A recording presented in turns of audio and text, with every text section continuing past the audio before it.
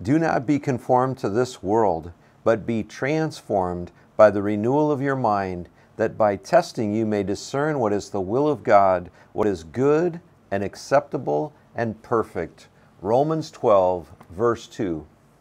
When we are born, we are given minds that are amazing. They can think, solve problems, create, and do all sorts of wonderful things. However, if we want to see life from God's perspective, our minds need to be renewed.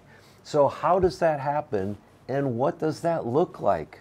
For most of us, it begins in holy baptism when, according to God's holy word, we are united with Christ, buried with Christ, and raised to new life in Christ. We're also given forgiveness and the gift of the Holy Spirit. And we, we know, according to the small catechism, that where there is the forgiveness of sins, there is life and salvation. It continues as we begin to understand that God is the creator and we and all around us are part of His creation. We worship God because He is the creator, not the creation itself. If we don't get that straight, the Bible makes it clear that we're going to get all sorts of things messed up.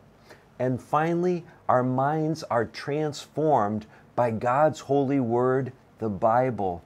It's through the Bible that we have a proper understanding of the sanctity of human life, of what's right and wrong when it comes to our sexuality, of the importance of forgiving others and why, of the futility of storing up the things of this world, of the joy of giving, of the peace of knowing that our lives are in God's hands, of the power of prayer, of the admonition to make disciples, of the encouragement to bear one another's burdens, of the need to watch and pray.